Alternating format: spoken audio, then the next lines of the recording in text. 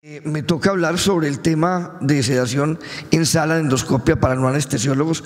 Yo creo que este es un tema, pues, primero apasionante, segundo, mm, el cual es del día a día en nuestra práctica en las eh, eh, unidades de endoscopia que tenemos. Yo no pretendo mostrar acá dosis ni nada que tenga que ver de cómo hacer la sedación, básicamente una parte práctica de conciencia y de responsabilidad de cómo se debe hacer realmente, cómo es a nivel gubernamental lo que debemos seguir, la importancia de nosotros como endoscopistas en la responsabilidad de hacerlo bien, no porque lo tengamos que hacer, no por la obligación de hacerlo con el paciente, con nosotros mismos y evadir ciertas reglas fundamentales que si las evadimos podemos llevar a que nos tumben en los convenios que existen actualmente.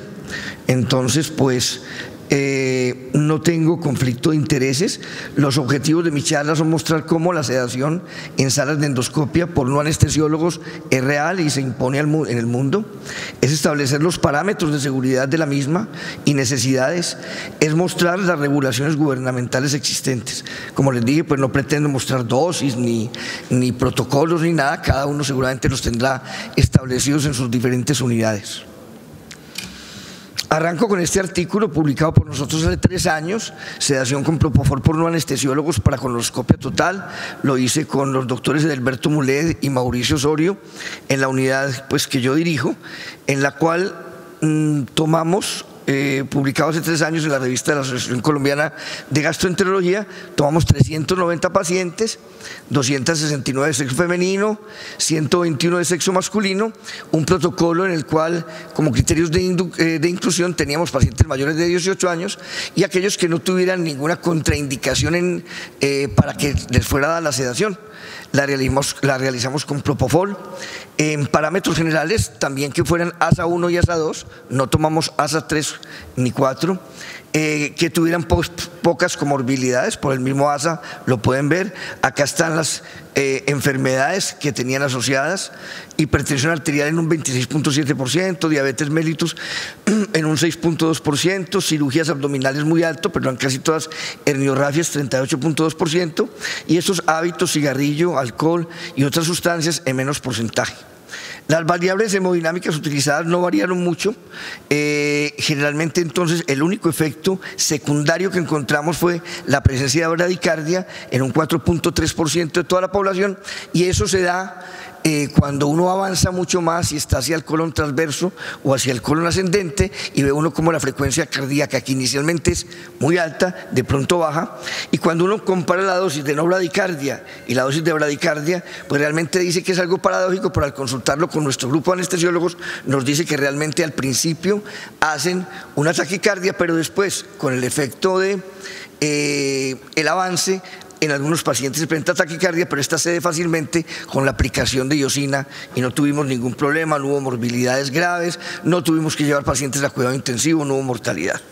Esto pues nos muestra realmente la conclusión que la utilización de propofol por medicamentos no por médicos no anestesiólogos es un procedimiento que se puede considerar seguro siempre y cuando se sigan los protocolos establecidos para tal fin. Este es el grupo ideal de endoscopia, este es el caso en el que estoy con un médico experto acá, la enfermera que le ayuda a este médico experto en la sedación, acá la realización de un procedimiento común y corriente, mi auxiliar, y un médico que observa que es el residente que nos está acompañando. Eso es un paciente ASA 1, ASA 2 y ASA 3, en el que no tenemos ningún inconveniente. Pero esto es lo real, es lo ideal. Nosotros debemos tener ese médico experto al lado y debemos no evadir y nosotros no ser los que estemos dirigiendo la sedación. Eso no puede negociarse. Esto es lo otro. Es el caso ya donde tenemos un anestesiólogo, nuestro anestesiólogo con la auxiliar que le está ayudando y el mismo el resto del grupo. Y esto es para pacientes que son ASA 4 en adelante o que tienen ciertas circunstancias. Esto no es negociable. Esto le da calidad a las unidades de endoscopia y eso hay que tenerlo consciente. La sedación entonces durante los procedimientos de endoscopia eh, se ha convertido en algo eh, inseparable de los mismos, se le debe explicar al paciente, se le debe hacer un consentimiento informado previo, explicarle eh, qué se va a hacer exactamente. Y entonces aparece pues el propofol, todos lo conocemos, como una droga que creo que revolucionó este campo. Antes utilizábamos mucho lo que era benzodiazepinas y opioides con reacciones secundarias eh, muy malucas. Los pacientes se profundizaban demasiado, a veces hacían eh, reacciones cardiovasculares, hipotensiones muy severas que nos ponían en problema al manejarlos. Inclusive pues yo tengo compañeros que aún hacen SPR, que es un procedimiento demasiado grande, solos a través de la utilización de, de midazolam, Valium, etcétera. Y yo creo que eso es un complique muy grande para uno mismo, no le da la conciencia real del acto a uno como endoscopista para realizarlo, lo complica y uno actuar en dos campos no está bien. De manera que yo creo que el Propofol lo ha revolucionado todo. Eh, yo pienso que esto eh, se ha impuesto sobre las benzodiazepinas y los opioides y nos ha dado a los endoscopistas un campo demasiado amplio de acción y a los pacientes mucho bienestar. ¿Qué es el objetivo que se persigue dando a los pacientes? Pues es doble, es conseguir eh, una buena calidad percibida gracias a la supresión del dolor y las molestias, eso es obvio, y evitar que movimientos intempestivos pues, puedan comprometer la eficacia y seguridad del procedimiento. Todo esto redunda en un término del cual en endoscopia y en la eh, Asociación Colombiana de Endoscopia tenemos que es la calidad de la endoscopia. Cuando hacemos una endoscopia de calidad tenemos que seguir parámetros. Cuando tenemos, digamos, una endoscopia digestiva alta, decimos la endoscopia digestiva alta más o menos puede durar siete minutos, es llegar hasta la papila, al llegar allá pues cumplimos con el acto completo eh, y eh, a veces cuando el paciente no se seda, al llegar a la garganta, el paciente tose, el paciente no nos permite entrar bien con el endoscopio, eh, no podemos aspirar bien las secreciones, no podemos evaluar bien la línea Z, no podemos ver las características o hacer coloraciones adecuadas cuando tenemos lesiones dentro del estómago eh, que nos quedan de duda, hacer coloración electrónica o hacer coloración con azul de metileno índigo carmín no lo podemos hacer adecuadamente, todo es rápido porque el paciente no nos lo permite. Y en colonoscopia pues es igual. De manera que cuando cuando sedamos y tenemos que decirle al paciente. Yo les digo al paciente, no, el paciente me dice, no quiero sedación. No, venga, no le voy a poder hacer la misma endoscopia si no lo estoy sedando. Si lo cedo, tengo eh, eh, un concepto de calidad que tengo que hacer y muchas veces con esto el paciente permite que le hagamos la sedación. Son pues múltiples artículos, estos son unos de los pocos que se consultan, que se han publicado en los últimos años y que en realidad muestran cómo la sedación realizada en pacientes adecuadamente seleccionados por, por médicos no anestesiólogos en nuestras salas y por nosotros mismos es adecuada, se puede hacer y tiene mínimos riesgos. Hay guías coreanas, la guía misma de la ASGE y en Colombia se publicó esta importante guía hace unos nueve años atrás de la revista colombiana anestesiología en la cual se unieron anestesia, se unió gastroenterología, se unió endoscopia digestiva, se unió odontología y se determinaron los parámetros que se debían seguir en Colombia como guía para la realización de endoscopia por no anestesiólogos. ¿Qué problema pasó? Que hace dos años anestesia sacó una nueva guía en la cual se bajó del bus, pero se bajó del bus solo ellos no llamaron a gastro, no llamaron a endoscopia, y ellos simplemente dijeron, no, venga. En la guía anterior nosotros decíamos que evidentemente ASA 1 y ASA 2 podían ser dados por médicos no anestesiólogos, que existiera un médico experto diferente al que hacía el procedimiento en sala, y de un momento a otro ellos dijeron, no, venga, la anestesia o la sedación cualquiera que sea, sea ASA 1 o 2, debe ser dada por anestesiólogo en salas. ¿Qué pasa? Que la regulación del gobierno en la actualidad no dice eso. Eso es simplemente una publicación para que todos estén tranquilos de anestesia en su manera de pensar. Pero no tiene validez todavía porque en las nuevas regulaciones del gobierno incluso sigue apareciendo esa misma regulación que aparece de hace algunos años en la guía que se hicieran entre todas las asociaciones. Por lo tanto, pues yo creo que hay tranquilidad en este sentido.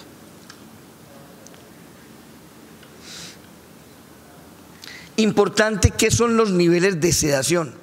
Estos son los niveles de sedación. Tenemos una sedación mínima, en la cual no comprometemos ni grado de respuesta, vía aérea, ventilación espontánea ni función cardiovascular. Ojo, es el paciente que a veces uno llegaba, le ponía eh, un ansiolítico debajo de la lengua o se lo daba previamente la endoscopia, el paciente quedaba sedado, tranquilo, se le hacía sin ningún tipo de intervención venosa o lo que fuera, y en estos pacientes pues realmente todo esto era normal, pero venía cierta incomodidad. ¿Qué es la sedación moderada? Y la pongo exactamente en rojo. Es a la que nosotros debemos llegar como médicos al hacer la sedación dirigida a nosotros mismos sin tener anestesiólogo en salas, en la cual el grado de respuesta a estímulos verbales o táctiles se da, eh, no es necesario intervenir la vía aérea, la ventilación espontánea es adecuada y la función cardiovascular es normal. De acá no debemos salirnos. Ojo que ahí es el peligro que existe. Yo, digamos, voy a una entidad en Manizales, nosotros vamos en comunión de cirujanos a varias, y estábamos teniendo sedación por no anestesiólogo en esa entidad, unas urgencias que hacemos de 7 a 9 de la mañana. ¿Qué pasa? Que nos mandaban un médico experto general eh, que trabaja en UCI a darnos la sedación. Pero se convirtió entonces que por no tener anestesiólogo disponible, también nos metían pacientes con ASA 4 y nos bajaban pacientes de edad, complicados, con algún problema cardiovascular. ¿Cuál es la conducta? Suspender el, procedimiento. O sea, no se hace. Y no se hace es porque nos estamos jugando nosotros mismos el pellejo nuestro, nuestra ética. Es nuestro actuar. Cualquier demanda la vamos a perder. Estamos arriesgando nuestro diploma y además la esencia del ejercicio. Entonces yo pienso que se devuelve. Causó un problema y un drama, pero les dimos a entender a la entidad que no podía ser así. Pero entonces es la sombra que ustedes no pueden permitir. O sea, ¿qué no pueden permitir? Que teniendo un médico experto, ese médico experto asuma funciones de anestesiólogo que no las tiene. Y es clara la reglamentación y la reglamentación tenemos que respetarla. Entonces, este es el punto que tenemos que movernos. Ya la sedación profunda y anestesia general, donde se compromete el resto de cosas, la debe dar un anestesiólogo.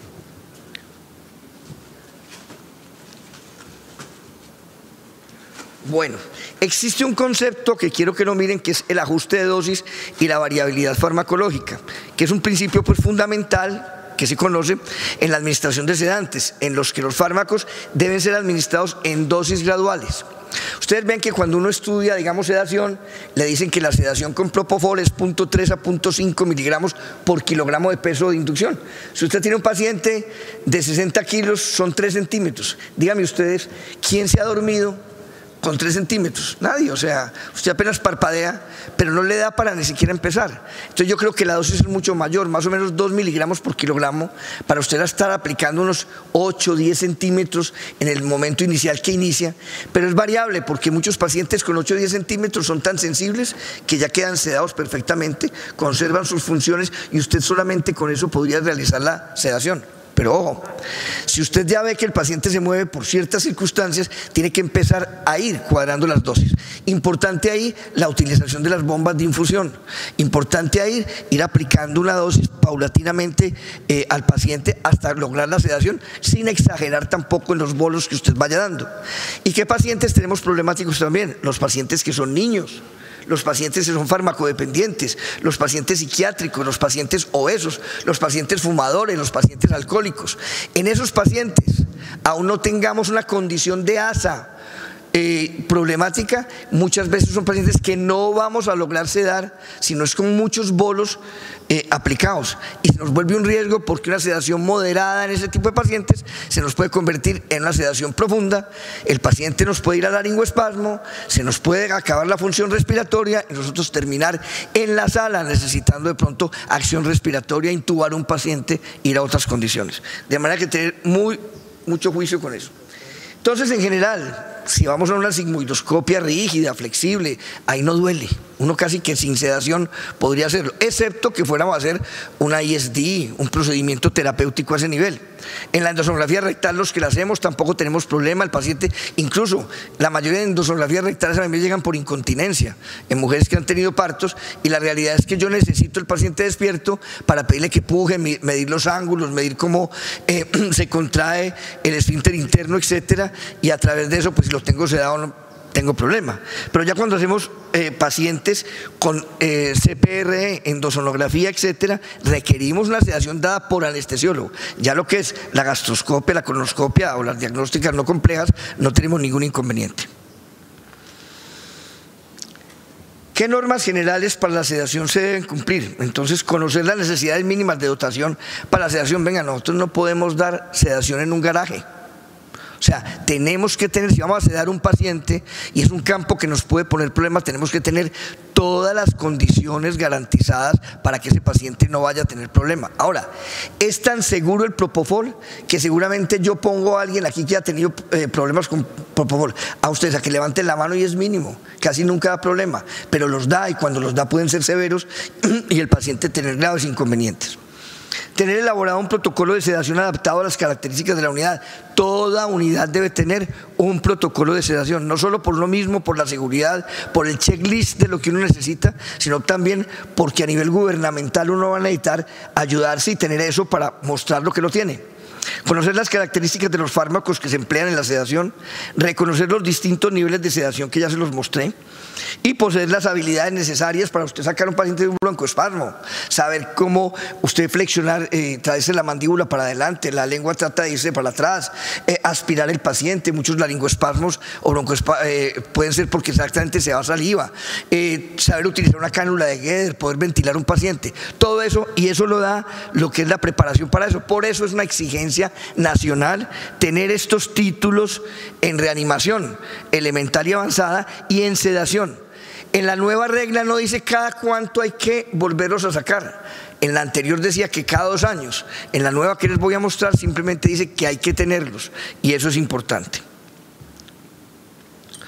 Todos los miembros del equipo de endoscopia que participan en la sedación deben tener formación en las técnicas de sedación teórica y práctica, hasta las enfermeras. Nosotros en nuestro grupo, generalmente cuando se cumple el periodo de dos años, que pues lo cumplimos casi todos porque lo hacemos juntos, llevamos las enfermeras auxiliares y jefes del servicio a hacer el mismo curso y lo hacemos durante todo un fin de semana, de manera que lo debe hacer todo el personal que esté implicado.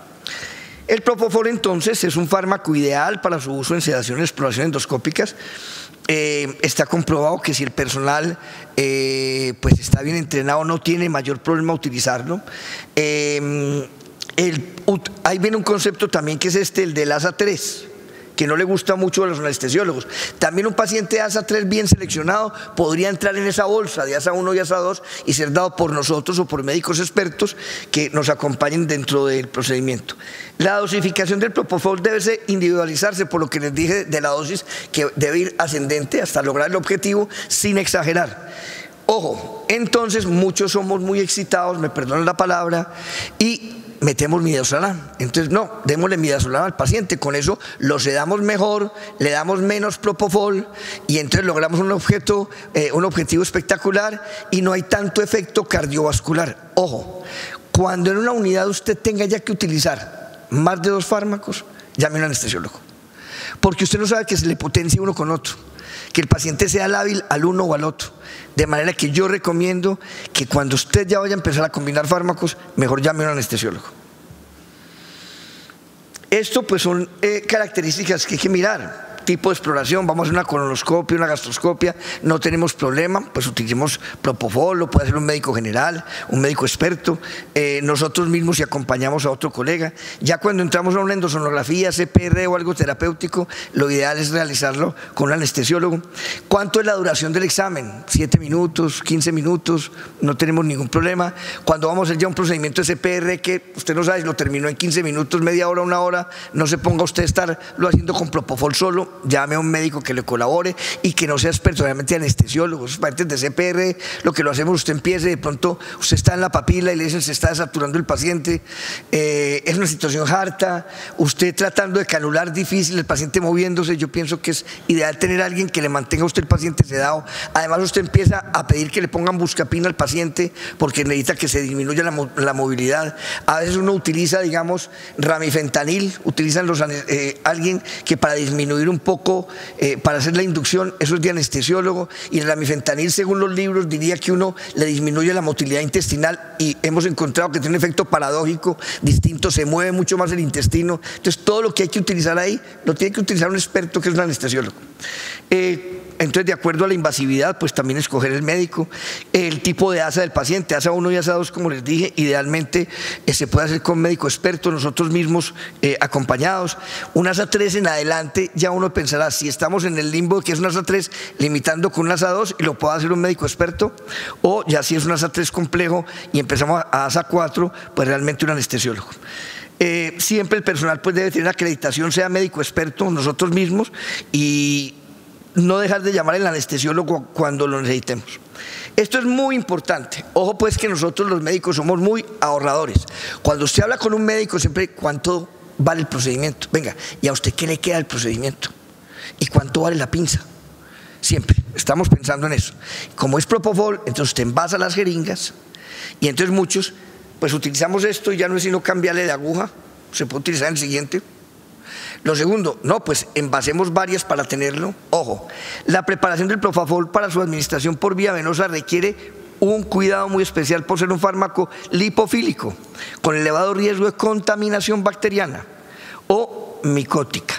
Entonces, cuando se ve una ampolla para cada paciente, debe ser para cada paciente. Se terminó y para afuera no utilizarla en otro, no reembasarla, lo que sea. Desechar el sobrante de ampollas y de bombas de infusión y recambiar las conexiones alargaderas y jeringas para cada nuevo caso. Eso es lo ideal. Yo no voy a preguntar y que alcen la mano quienes lo hacen así, pero creo que no muchos lo hacen y que muchos utilizan lo que sobra, etcétera, o reembasan y eso no está bien. Y es el objetivo pues, de la charla, demostrar lo que está bien o no. Esto es lo que debemos tener en cualquier unidad, un equipo de paro, monitores, ojalá tengamos camnografía. Eh, Cuando estamos en clínicas no tenemos problema, pero muchos tienen unidades que no están en clínicas. Entonces muchos se les complica un paciente, ¿qué van a hacer? Tienen que tener un ascensor, que en el ascensor quepa la camilla y que de ahí el paciente pueda ser transportado a un sitio que debe estar contratado evidentemente para tener la, habilitación y poder llevar el paciente. ¿Cuándo se requiere anestesiólogo? En procedimientos endoscópicos urgentes, prolongados o que requieren terapéutica compleja intolerancia, reacciones paradójicas o alergia a las pautas de sedación estándar, riesgo aumentado de complicaciones por comorbilidad, ASA 4 superior, riesgo aumentado de obstrucción de la vía aérea, anormalidades vocales, que tengan un mal pati complicado y que uno le va a hacer una lingoespasmo y quien eh, intuba a ese paciente, eh, anormalidades del cuello, etcétera, y anormalidades de la mandíbula. Esta es la resolución que rige actualmente eh, lo que es el talento humano en salud. Y en la página 61 y 62 aparece lo que tiene que ver con sedación. Y es la 3100 del 2019. En esta pues aparece lo que les voy a mostrar. Punto 13.1 cuando fuera de salas de cirugía se realicen procedimientos bajo sedación grado 1 y 2, adicional al profesional de salud que realice el procedimiento cuenta con profesional de la medicina especialista en anestesiología o profesional de la medicina o profesional de odontología según aplique, el cual será el encargado de administrar el medicamento y realizar el monitoreo continuo del paciente. Bueno. Todos los profesionales, a excepción del profesional de la medicina especialista en anestesiología, deben demostrar constancia de asistencia a curso de formación continua en soporte vital básico y sedación. Mire que ahí ya no dice cada cuánto hay que revalidarlo, pero sí dice que lo tienen que tener. Y este es lo otro, ya que cuando fuera de salas de cirugía se realizan procedimientos bajo sedación grado 4, adicional profesional de salud que realiza el procedimiento cuenta con profesional de la medicina igual, que es un anestesiólogo, y en la grado 3 también se puede hacer por médico experto general. Bueno, no debemos permitir hacer elástica la norma. Se ve cada día como los médicos expertos, no anestesiólogos, dan pacientes ASA 4 por necesidad de momento y eso da no cumplimientos y eso puede hacer que nos tumben la regla. Mire, cuando anestesia sacó hace poco la nueva reglamentación de ellos, según ellos, que la publicaron en la revista Escale, dicen eso, que tienen múltiples complicaciones de nosotros en consultorios, de endoscopistas y de odontólogos que no se cumplen las reglas. Entonces yo digo, jóvenes, si queremos seguir con que nos permitan que médicos expertos o nosotros mismos le ayudemos a nuestros colegas a hacer la sedación, tenemos que respetar las reglas actualmente existentes. Puntos para llevar a casa que la sedación por no anestesiólogos es posible siempre y cuando se sigan parámetros bien establecidos y no se violen las reglas. Debemos tener todos los involucrados un adecuado entrenamiento en medidas de reanimación y sedación. Esto no es negociable. Si se va a sedar un paciente por fuera de salas de cirugía o en un ambiente no hospitalario, debemos tener todas las medidas necesarias que garanticen la seguridad del evento. El propofol es el medicamento que para tal fin da mayor seguridad. Cuando empezamos a combinar medicamentos debemos tener un anestesiólogo. Todos los días antes de empezar debemos hacer un checklist importantísimo de todo lo necesario. No debemos improvisar. Si falta algo, no debemos iniciar. ¿Cuántas llegan al consultorio de ustedes y dicen, venga, el laringoscopio tiene pila?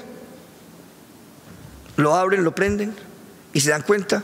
Piensen en eso.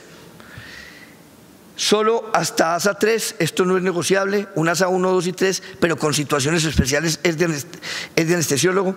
Desde la misma consulta previa deberíamos clasificar los pacientes y dirigirlos a una sala específica, sedación por no anestesiólogo o a sala de anestesia. Muchísimas gracias.